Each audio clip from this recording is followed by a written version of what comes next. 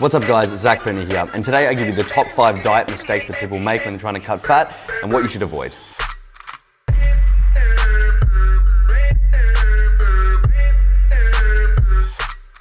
Alright guys, so before we get started today, um, I did want to give my own product a little plug here uh, because there's been a lot of people messaging me like teen saying, when's your teen program coming out? And it is officially live. So if you head to massivefam.com, you can find the student special there.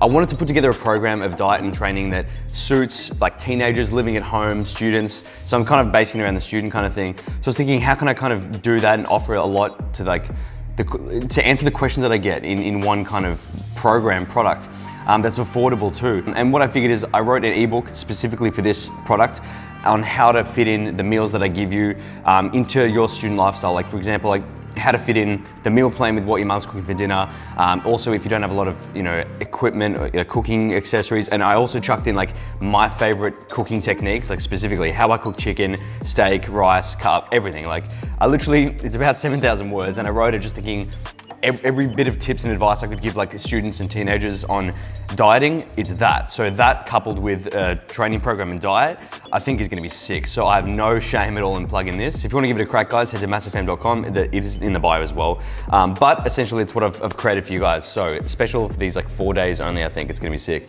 Um, anyway, so today's topic is uh, diet mistakes. Now, I get a lot of, I see a lot of guys doing the same kind of things, and it makes me think of when I started, what I was doing when I was trying to cut fat, and the mistakes I was making. And it's pretty funny when I think back to what I was what I was doing. But I mean, there's guys out there that are doing the exact same thing. So I remember like when I started, I'd be making. I'd, I'd be putting in the work. That's that's the thing is I was putting in, in the work when I was younger, trying to get lean, and I was going through like the hard time dieting, obviously. But it wasn't really doing anything. And I'd get to a point where I'd plateau and it'd be like, great, that's kind of where you're gonna sit. You're gonna sit at 10% body fat now, you're not gonna get abs out. And it'd be like that for weeks. And I didn't know what the hell I was doing wrong because I thought I was doing everything right. I was reading what people were doing, I was copying what they were doing. And I thought I was doing the right things and I was working hard too, like I said, like I was dieting really hard, doing all the cardio and it just wasn't changing my body um, because I, I just didn't really know what I was doing. So I'll go through the top mistakes today that I made and I've done in the past and I think you guys should look out for and hopefully you can take something from that and, and learn from me and my mistakes. So um, I like doing these videos because I think if I had watched this when I was younger, I would have learned a lot and would have saved me years of hassle. So I feel like it's actually very effective. So if you need to get a pen and paper, write some shit down, um, write these little steps down, then do what you will. Also, how cool is this shaker, this uh, Harry Potter shaker I got in America? Loving it as well. So don't mind that, just uh, chilling there. And by the way guys, this sale is only for four days too on massivefam.com, so make sure you don't miss out. Now let's start with the diet mistakes. Mistake number one is not tracking. Now, when I started, I wouldn't track any of the calories or macros in foods. I kind of would just eat bro foods and hope that that was doing the job. I mean, meal plans are great and I follow them still to this day, but you need to be tracking your calories from the meal plan so you can stick to that every day. So for example, if you have your calories and, and macros set out, great. Now I recommend doing following a meal plan with those calories and then sticking to that. And then over time you'll be reducing that when you plateau. So if you're not tracking, which is what I wasn't doing, you don't really know where you're at. So all you can do is just eat nothing and hope that you're in a calorie deficit, which most time you are. But then what happens when you plateau? And that's the issue here is that when you plateau, then you don't know what to do. You can't pull any more calories out because you, you, kind of feel like you're eating nothing already. So that's, that's the problem is that if you're tracking, what you can do is you know exactly where you're at. So for example, say you're eating 2,000 calories. You go, okay, cool, I'm eating 2,000 and you're losing weight, then you stop, you drop it to 1,900, you start losing weight again. And then you kind of hit that, it's a linear like process where you start going down a bit. You might increase cardio, but at least you know that your body will burn fat at that calorie level. And then you can kind of play around with your maintenance. And then when it's time to bulk up again, you can throw in 300, 400 calories to find your maintenance from your deficit calories. And that way you're not just thinking, oh yeah, I used to eat chicken and broccoli, now I eat beef and all the rice. It's kind of like, it, at least if you're tracking your calories and macros, then you know where your body's at, you know how you're responding to that level, and you can adjust accordingly. So you know, it's just a much more um, practice approach, I guess. Like it's, it's much more, there's much more thought going into it.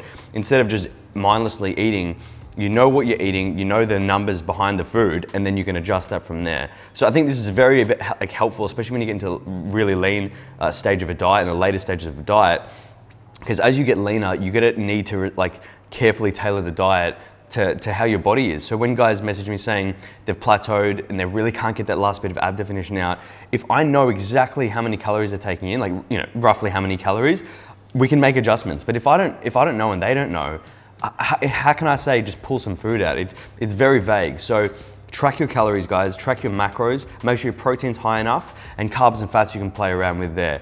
But just please, please track it. So mistake number two is over dieting. Now this is literally exactly what you think it means. It is eating too little. So like eating like a rabbit or eating bear's diet when you could really be eating a lot more. Now, Initially, this will be this will be good for fat loss because you'll see great fat loss results because obviously you're eating nothing. If you're gonna eat like two sticks of celery a day, you're gonna get lean. That's the beauty of it. but over time, what happens? Then you can't train. If you're eating two sticks of celery, you'll probably die. But that's the thing. It also comes from like mistake number one is if you're not tracking, then you're kind of more inclined to over diet and just pull everything out. So I did this when I was younger. I would go, okay, we're cutting now. So I would have just chicken breast only is my meats.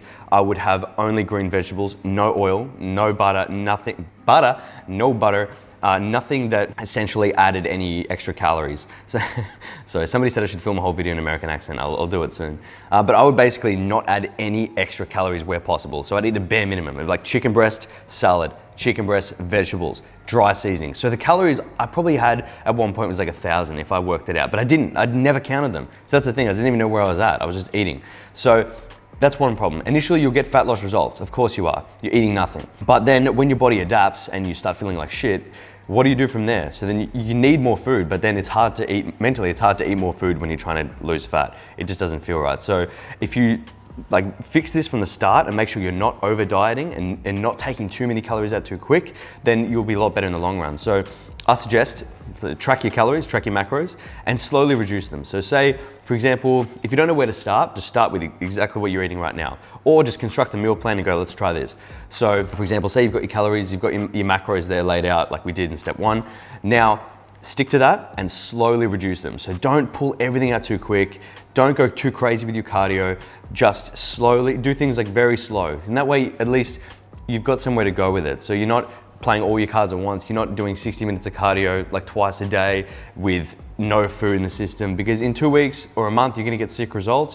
But down the track when you when you plateau and you need to change something, you'll have nothing to change. And that's the issue is that you can't change anything. You've got nowhere to go. So you're basically digging yourself a hole to an early death, mate.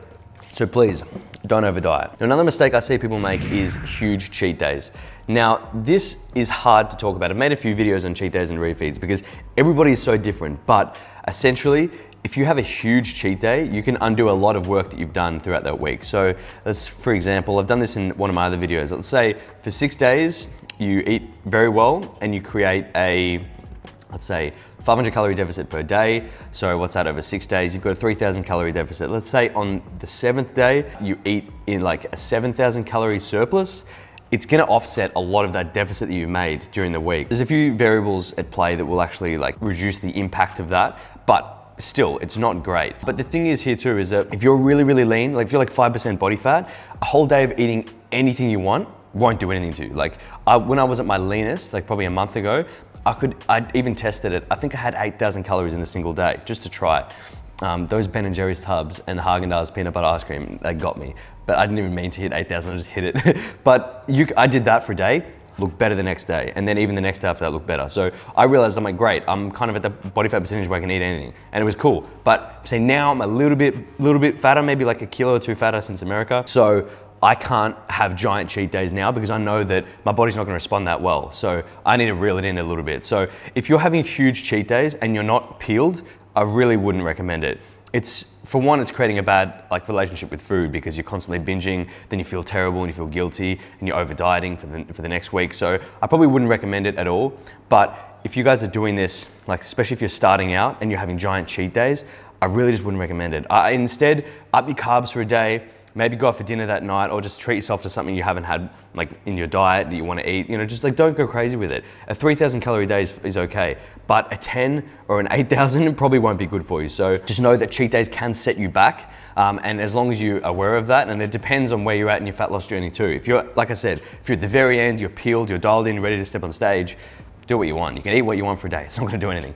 But if you're still trying to if you're struggling to burn the fat and it really feels like it's not coming off, I wouldn't recommend a cheat day. Yeah, I think I see like a lot of people that do put these cheat days in and then they say, yeah, but I'm eating nothing during the week. And it's like, if they're eating 1600 calories on a dieting day and then they have a huge blowout day in the weekend, they could really not have that blowout day and then they could diet on 2000 per day and achieve the same results. So you don't have to punish yourself as much during the week if you kind of reel it in on that on that sixth, seventh day of you know cheating, if you like. So I think refeed days are good. They have their place. Check out the other videos on that. But it depends on the person, depends on where you're at. But overall, I'd say don't have cheat days. Now, the next mistake I want to talk about is just not knowing about food. It's very simple, but it gets a lot of people. So I think a lot of people buy into that you can only eat clean food, uh, and then you have to avoid certain foods. Like some, there's some special fat burning foods, there's some bulking foods, there's some foods that you should entirely avoid at all costs. And it's like, that's just not right because that's way too restrictive. It's just a simplistic way of looking at it.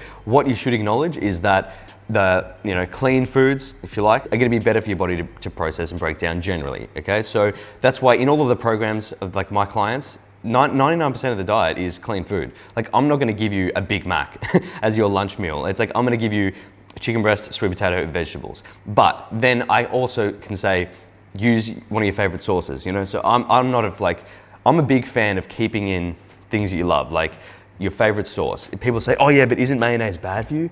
It's like, nah man, if you're dieting and you're having like 10 grams of mayonnaise on a Japanese pancake or Japanese omelet, that will make the meal. And also it's fine. It's adding what, like 80 calories? Great, let's factor that in. It's being consistent, it's a constant, you don't need to like worry about it, so let's leave it.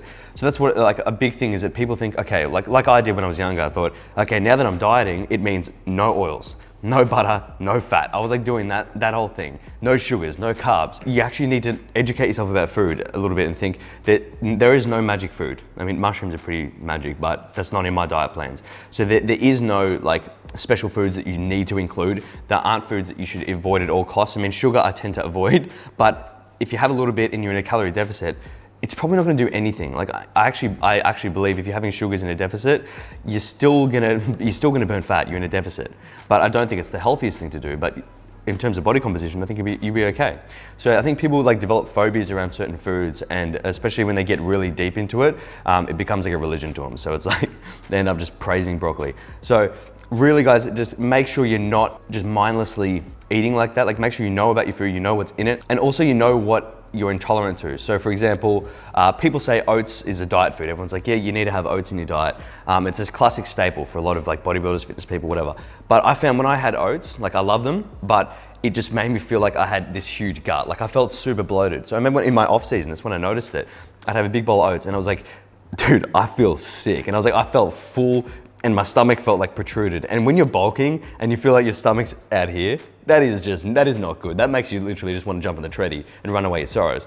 It is, it was a terrible feeling. And I was like, shit, I'm just literally bloating from the oats. So do you know what I did?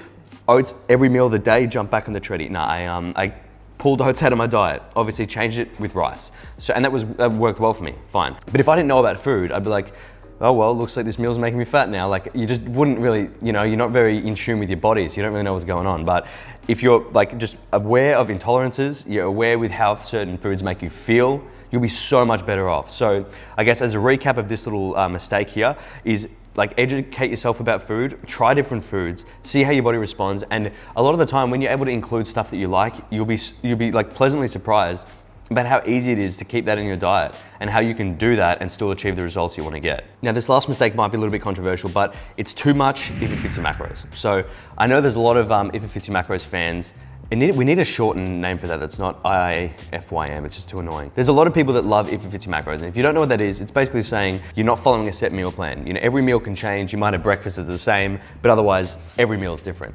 Now, and all you do is like jump on MyFitnessPal and you can kind of figure out what you can have. Now, I think this is great, especially when you first start dieting, using like this, this approach in small doses is really good because you can realize, like I said before, that you can eat certain foods and still lose weight.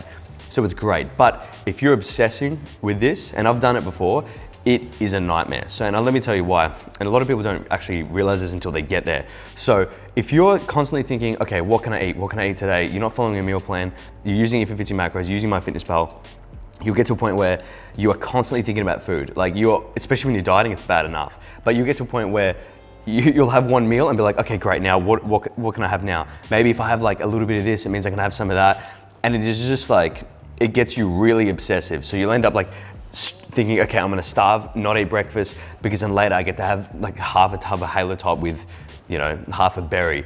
and it's just weird because then then you're relying so much on a calorie tracker like MyFitnessPal when the entries are, are different. Like the entries in MyFitnessPal are different from the entries on a general a generic brand of another product. I guess my point is you, you become too focused on the specific you know, nutritional information of one brand of product and how that differs from another brand of the exact same product. I'm not talking if it's like a low fat alternative, but it, you become so obsessed with the numbers and the macros that you're not thinking about the foods in general and you're constantly eating different meals every single day. So you don't know which foods disagree with you. You don't know which foods you feel good or bad off. Uh, and it also, like you end up eating a lot more like, I guess just shit food, like sugar, alcohol. So if you're doing, if it fits your macros, and you're not following a meal plan, you're probably gonna have things like Halo Top ice cream in a lot of the time. I was having that like nearly every night when I was doing that. Um, and the sugar alcohols didn't really agree with my gut. So I, I think because it's got a lot of that stuff. And if you're having protein bars as well, it's a similar kind of deal. They don't agree with everyone's guts. But that's the thing is that because you're not following a meal plan, you have that much flexibility, you end up choosing things that might not be the best for you. So I think um, that's one bad thing about it is that you can, like you're prone to eating, I guess just empty food, like shit food.